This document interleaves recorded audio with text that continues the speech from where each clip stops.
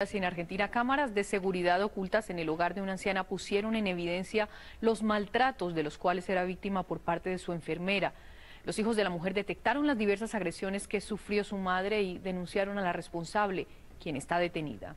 Este es un informe de nuestro canal aliado Telefe. Una enfermera que cuida a una paciente de 88 años durante 18 meses hasta que la familia comienza a sospechar de abusos de todo tipo. La familia de Elvira ya había instalado el 5 de diciembre pasado dos cámaras, una en el living y otra en la cocina, donde se registraron 50 horas de maltratos. Que no se hace esto, que no se puede lastimar a los viejos. Susana Ortellado Álvarez, de nacionalidad paraguaya, tiene 64 años y matrícula de enfermera homologado por la provincia de Buenos Aires.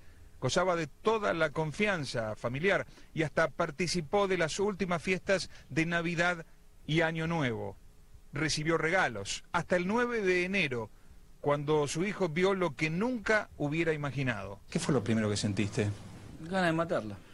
La realidad es ganas de matarla, como creo que cualquiera que está viendo las imágenes estaría en mi lugar, pensaría lo mismo. Durante 18 meses Elvira no emitió palabra, se sometió a los vejámenes por temor a poner en riesgo a su familia. La enfermera la había amenazado con matarla si la denunciara.